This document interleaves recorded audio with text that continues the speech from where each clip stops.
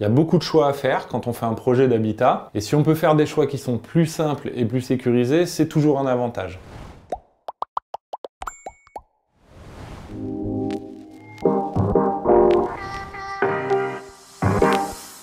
Les groupes d'achat et d'entraide, ça concerne le bâtiment. L'idée, c'est de se regrouper d'abord pour faire un choix d'une solution technique intelligente. Ensuite, obtenir des conditions tarifaires qui sont intéressantes.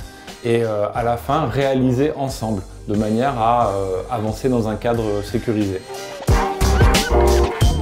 Pour organiser les groupes d'achat et d'entraide, ce qu'on fait, c'est qu'on choisit un sujet, on fait un tour d'horizon des différents fournisseurs, on fait un choix d'un produit chez ce fournisseur parce que ce produit va être euh, adapté aux autoconstructeurs, simple et sécurisé. Ensuite, on appelle les personnes qui sont intéressées pour participer au groupement d'achat, on les conseille et euh, on les aide à faire un bon dimensionnement et euh, donc faire un bon choix pour leur projet.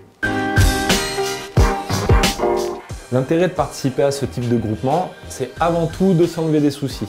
Il y a beaucoup de choix à faire quand on fait un projet d'habitat et si on peut faire des choix qui sont plus simples et plus sécurisés, c'est toujours un avantage. Quand on participe au groupement, on peut aller chez quelqu'un pour essayer l'installation, se familiariser à la pose, et le jour où on fait son installation à soi, recevoir des personnes qui vont venir apprendre et aussi filer un coup de main.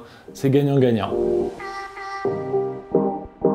Les produits concernés par nos groupements d'achat aujourd'hui sont le chauffe-eau solaire, le photovoltaïque, les installations électriques, les poêles de masse à accumulation et les matériaux d'isolation. Pourquoi on a commencé par ces cinq sujets? C'est parce qu'à chaque fois, on a besoin d'avoir une vraie expertise en interne pour pouvoir traiter le sujet. À l'avenir, ce qu'on envisage de faire, c'est de trouver des experts sur d'autres sujets de manière à pouvoir répondre à toute personne qui a un projet et euh, faciliter la vie des gens.